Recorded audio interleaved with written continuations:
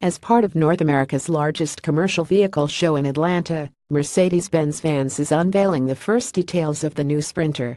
Mercedes says that the design sketch indicates that the most important market launch in the van sector in 2018 will also set new standards in terms of appearance. New features include the comprehensive introduction of driving assistance systems and connectivity services in combination with new telematics, which Mercedes says will bring a leap forward in efficiency for vehicle and fleet management. Moreover, the new Sprinter can be more precisely adapted to individual transport and sector requirements thanks to a considerably extended range of variants. The market launch will commence in Europe in the first half of 2018, with the other markets to follow. Further details of the vehicle will be announced in the coming months.